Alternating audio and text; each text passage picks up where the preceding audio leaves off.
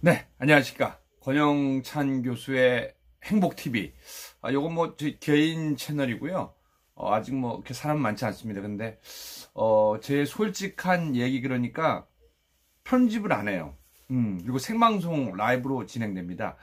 어, 일단은 여러분들 잘 지내셨는지, 어우, 저도 뭐 바빴어요. 특히 좀 안타까운 일이지만서도, 어, 뭐, 제가 연예인 자살 예방 센터 소정을 하고 있습니다. 이제 왜냐면은 어 제가 2015년부터 연세대학교 상담 코칭 대학원에서 이제 석사 졸업을 하고 디지털 상담 코칭 심리학과 교수로 가면서 음.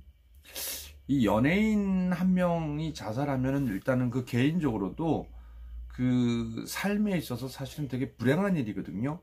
그리고 그 가족에게는 얼마나 힘들겠습니까? 물론 이제 팬들 여러분에게도 힘든 일이 되겠지만서도 일단 그 개인사가 어 망가지는 거거든요. 가족들도 너무 힘들죠.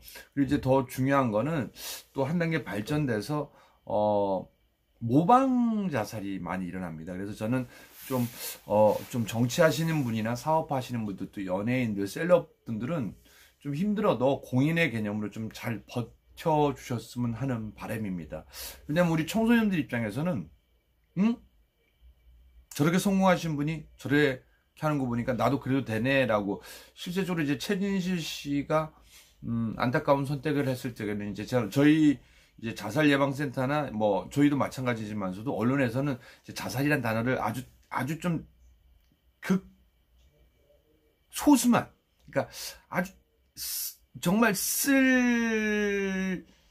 때만 딱 쓰는 걸로 안 그러면 뭐 안타까운 선택이나 또 다른 말로 하는 거거든요. 사실은 그 어감 자체가 사람에게 준 큰 심리적 충격도 있고 좀 어찌 보면 모방 자살을 부를 수도 있기 때문입니다.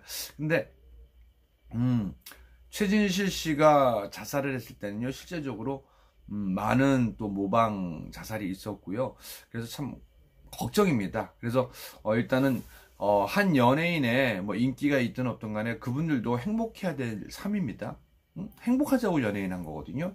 그래서 제가 2015년부터 무료로 어, 자살 예방에 있어서는 뭐 그분들이 경제적인 여력이 있든 없든 간에 무료로 진행하고 있습니다. 또, 어, 사실은 또 연예인분들이 많이 힘든 분들이 많아요. 그래서 그분들을 위해서는 뭐 100% 무료로 다 진행하고 있고요.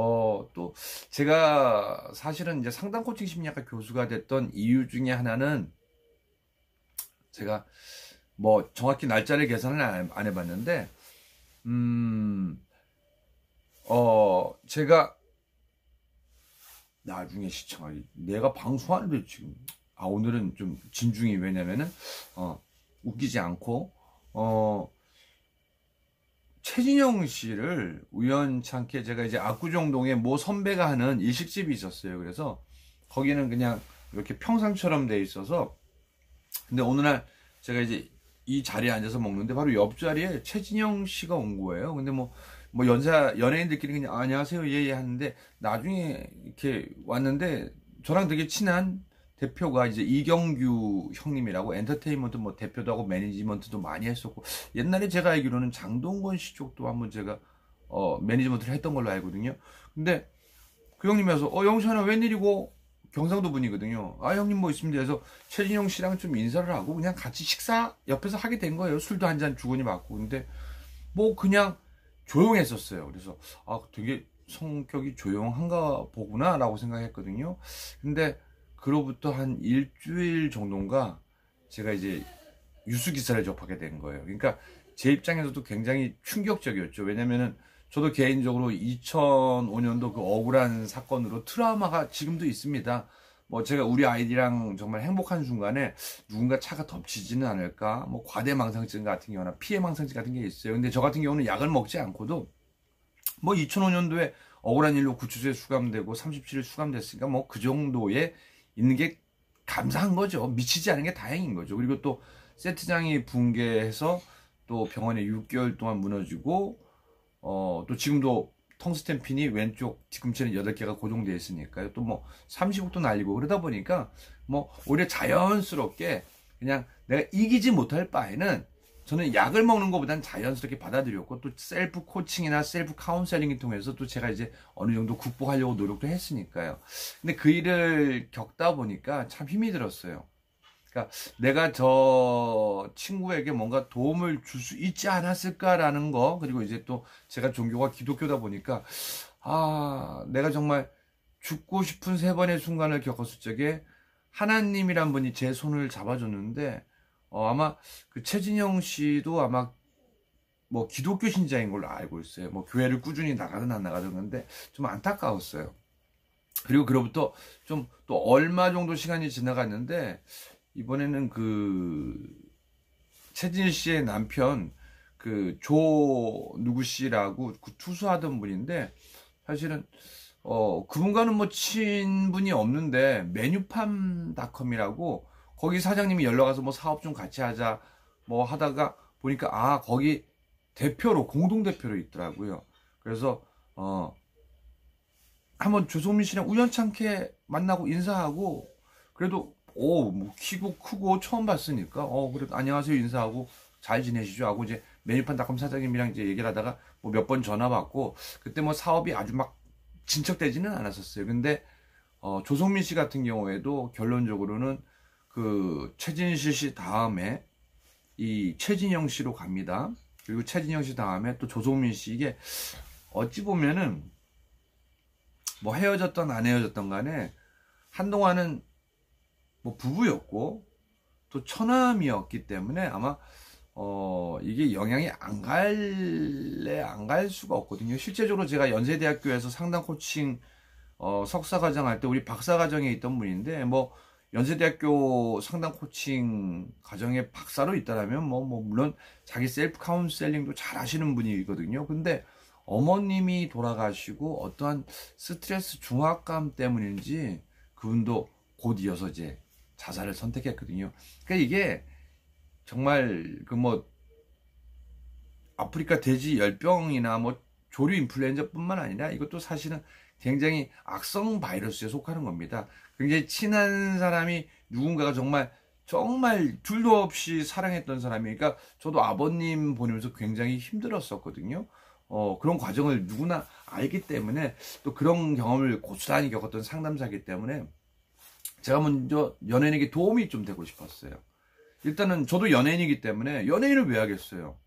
아, 그래도 그 지역에서는 연기 잘한다고 해서 연예인 한 거 아니에요? 또 개그맨들은 그 중에서도 정말 까불거리고 잘한다고 까불까불 되다 보니까 개그맨 공채에 붙었겠죠. 가수도 뭐 말할 나위 없고요. 근데 뭐 그 사람들도 행복하려고 한 거 아니에요. 특히 방송에 나오는 사람들.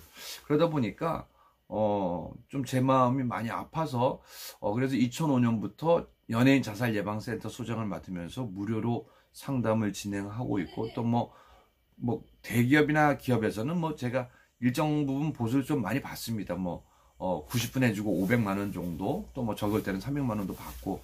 근데, 음, 최근에 좀 정신없이 바빴던 게, 설리 씨가 안타까운 선택을 한 다음에, 어, 좀 많은 정신과 전문의들이나 또 다른 상담 심리학과 선생님들은 교수님들이 좀, 음, 좀 조심스러운가 봐요.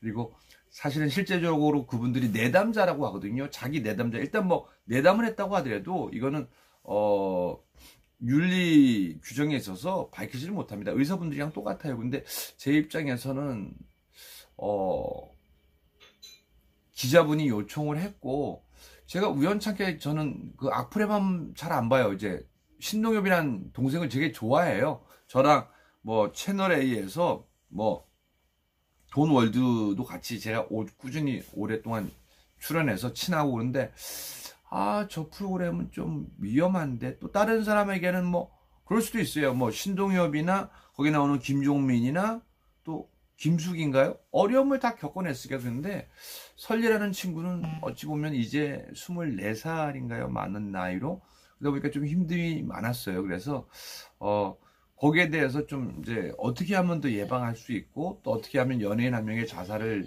좀 막을 수 있을까라고 해서 좀 인터뷰도 하고 좀 정신이 없었습니다. 또 저 개인적으로도 이게 아무리 막 좋은 일이 일어난다고 하더라도 꼭 신경 쓰고 막 짜증나는 일들이 생겨요. 그러다 보니까 어 정말 바빴어요. 그래서 뭐 한 8, 9, 10 이제 벌써 11월 오늘 며칠이에요?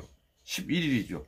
또 내일이면 또 제가 10일 중앙 교육연구원 대구로 강연 가고 또또 13일 날에는 또 뭐 세종시 장애인 그 축제는 또 다른 우리 강사 우리 음, 김진경 아나운서가 가고 저는 이제 또 총송에서 어 지리 그 관계자들 어 역사 설계사들 대상으로 또 강연을 하거든요. 그러니까 오늘 아니면 또, 또 시간이 안 될 것 같아요. 또 잠시 운동하러 가고 그리고 또 오늘도 그 머리를 좀 그것이 알고 싶다 해서 머리가 그래서 좀 숱이 좀 많아 보입니다. 예. 그래서 오늘 이렇게 방송하게 된 겁니다. 그래서 앞으로는 좀 자주 어 제가 어 음, 인사를 드릴게요. 그리고 혹시 여러분들 뭐 상담하고 싶은 거 여러분들 뭐 이름 다 뺄 테니까 그래서 제가 여러 주에서 봤던 패턴을 가지고 아 저거 어떻게 되겠다 저 사람 어떻게 하면 성공하겠다 저 사람 어떻게 하면 실패하겠다 거기에 대한 부분을 제가 좀 설명드리겠습니다 그래서 뭐 어떻게 하면 성공한다 이런 얘가 있더라 내가 컨설팅 해줬더니 또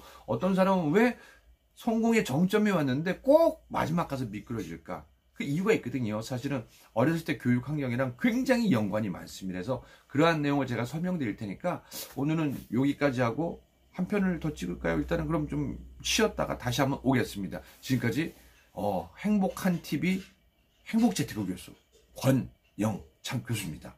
대한민국 연예인 1호 출신. 찾아봤더니 전 세계에서 연예인 출신 상담사는 저밖에 없더라고요. 그래서 또 생각해보니까 그래 연예인이 뭐 굳이 상담 심리학 공부를 할 필요는 없는 것 같은데 저는 어 사실은 여러 가지 일들을 겪고 목회자가 될까도 생각했는데 목회보다는 사실은 이렇게 사람을 도와주는 것도 난 큰 의미가 있다고 생각해요. 그래서 여러분들 고민거리 있으면은 제가 어 이름 안 밝히고 상담해 드릴 테니까요. 걱정하지 마시고 요 80 몇 분이 예? 300명 되고 1000명 되고 요 홍보를 전혀 안 해요.